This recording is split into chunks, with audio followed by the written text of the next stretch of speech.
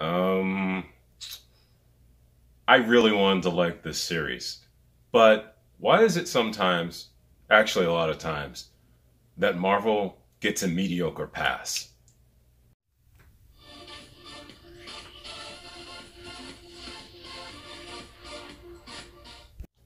Hi, my name is Michael S. Garner, and I do comic book related TV shows and movie reviews. Actually, just my thoughts on them and everything like that. Um, just because I do love comic books, grown up with them and everything like that, and I actually write and draw my own online comic book. Um, it's nothing big, just a self-published thing. So I just uh, I just like to give my opinions and everything like that on it. And um, this is the uh, first season of WandaVision. This is episode three. It has finally come out the other night, and uh, I was actually going to wait until the actual Friday to watch it, but I was up late and I'm usually up pretty late, so I decided to watch the episode before going to bed. I wasn't tired, by the way.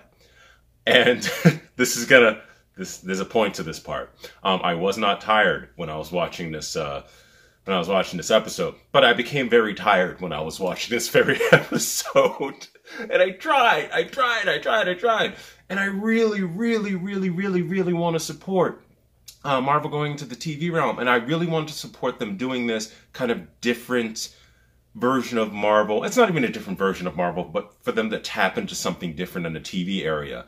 And I like the homage, uh, sorry, the homage, um, to, um, to, you know, the past sitcoms and everything like that. And, and I always say this, full disclosure, I grew up with sitcoms. I grew up with I Love Lucy. I grew up with the Brady Bunch. I grew up with Gilligan's Islands. I grew up with Laverne and Shirley. I grew up with all of these things. I loved them growing up. I watched them in a loop. And they weren't even a part of my time period. They just ran them in reruns. So I watched all of this stuff. I love black and white and sitcoms and everything like that. I watched so many when I was younger. I Dream of Jeannie, all this stuff. So I know all this stuff almost verbatim. But Marvel's attempt at trying to make this intriguing and you trying to find out a mystery. For me, it's not. I, I feel bad, and I love Elizabeth Olsen and I love Paul Bettany as the Vision. I love them both as well. I just really want to say this, um, but this is not making me think at all. This is not even making me have any nostalgia. This is just making me go, get on with the damn goddamn story. Just go, go with the story. Because right now, um, I'm glad this episode, just to break it down really quickly, I usually have notes like in front of me, just like just I stand subject and everything like that. But there's nothing really to explain here. Um, if you haven't watched the episode, obviously don't watch this video. But in the episode, we're basically seeing the breakdown of Wanda. What is actually really happening in this world that she's in? And obviously now it's come to the point where I think I said in a prior video that she created this world herself, like in the House of M comic book storyline um, she has created this place, but she has trapped people in it. And I don't know if she's necessarily trapped people in it or they came in to try to get her out and they got trapped in there. But for what happens with her interaction with Monica Rambeau, if you do not know, um, the girl that she comes in contact with at the end who helps her with her pregnancy, uh, that helps her with her sudden pregnancy. Uh, it happened in comic books. Not gonna, not gonna complain there. This is how we get, um, basically, uh, the Young Avengers and everything like that. If you don't know that, she has two children. They grow up to be uh, Wiccan and Hulkling and all this stuff like that. Not even to go into that, but she has the two boys. Um, and it was it was a cute scene and everything like that. But I'm sitting there going like, are we going to go on for this for like 30 minutes? By the way, it wasn't even 30 minutes. I think it was 23 minutes. And then a credit started to roll. And I'm like, we have seven minutes of credits. Oh, all right. But I was watching this, and um, I I really wanted to be taken back, like, oh my god, what's happening? But I just wasn't. Nothing was surprising me. I'm like, okay, so we know what's going to basically happen now. I'm like, I felt like this episode could have been episode two.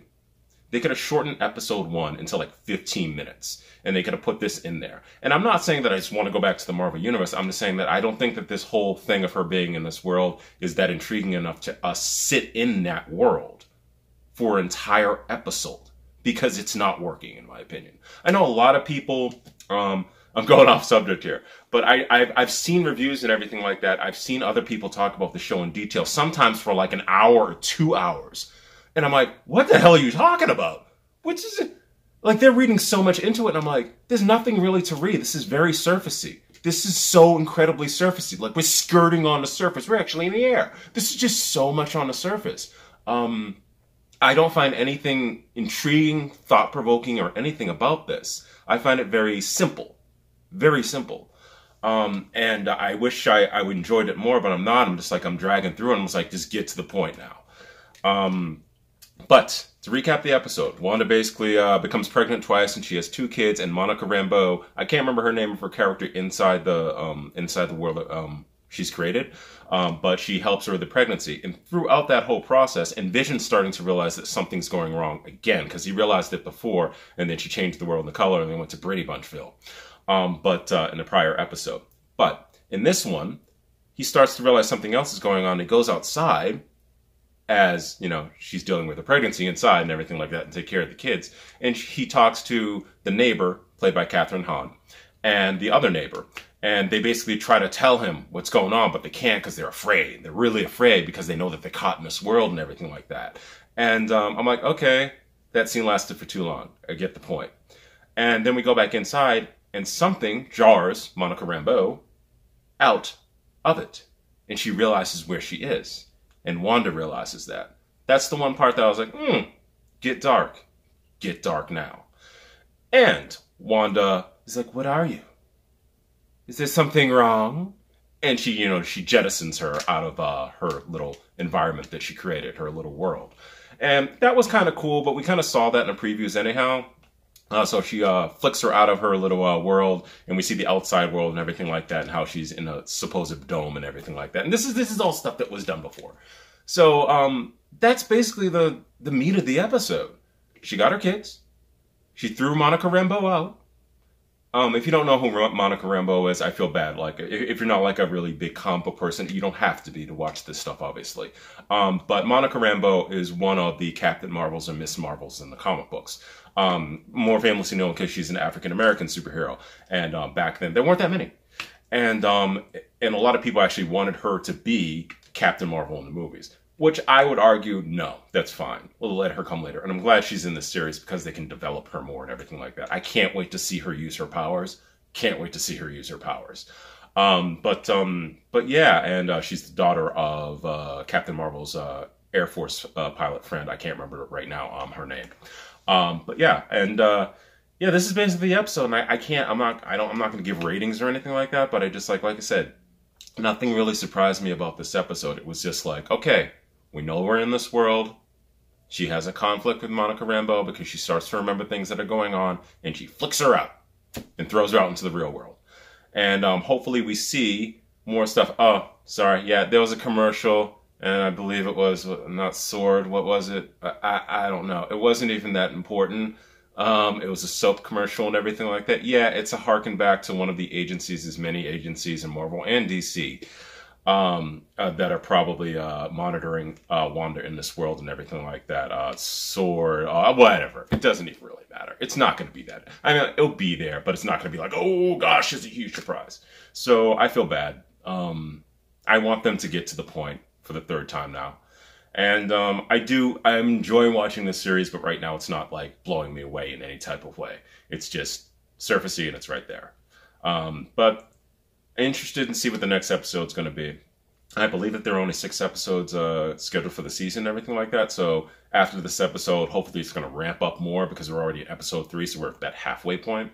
Um, and even if there's eight episodes in this series, we're almost to that halfway point. so go, run to the horse, just run because this is this is taking too damn long. And I want to see uh, I want to see Wanda go crazy because we saw a little bit of it, and that part I loved, love seeing her go a little crazy. And um, yeah, so that's uh, that's basically my take on this episode of WandaVision Season 2, Episode 3. Um, what did you guys think? I know you probably disagree with me a lot on this. You probably think this is revolutionary and you love it. that's that's your opinion. I perfectly I perfectly understand that. Um, everybody has their own opinions about things, and I'm just expressing mine. And um, yeah, just tell me what you think about it. Where do you think it's going to go? Do you think there's something a little bit more than what I'm thinking of about this series? Like there's something deeper there that I'm not seeing if there is something, just let me know down below. I just, I really do want to know your opinions on this. I want to talk to somebody about this because I don't really have anybody to talk to about here. Uh, I mean, sorry, I don't have any really anybody around here to talk to about this, um, at least in the detail that it deserves and everything. And um, and you know, this is revolutionary for Marvel. Movies going into TV. They haven't really done it before. Don't count Agents of Shield, even though I'm a lover of Agents of Shield after season one. Don't count that. So My name is Michael S. Garner. Like I said, I do comic book related TV shows and reviews and sometimes comic books. And um, if you like my uh, content and everything like that, you can subscribe to the page and get notifications when I put up a new video and all that stuff. Um, also, I draw and write my own online comic book. If you want to check that out, it is called Visions of the New, which is at magcloud.com. You can check out the previews there, download a PDF, do whatever you want. Uh, check out the book. There's nothing really new on there. It's been a while, but um, you can check out the two books that I have on there now. And until next time, I hope you guys have a great day.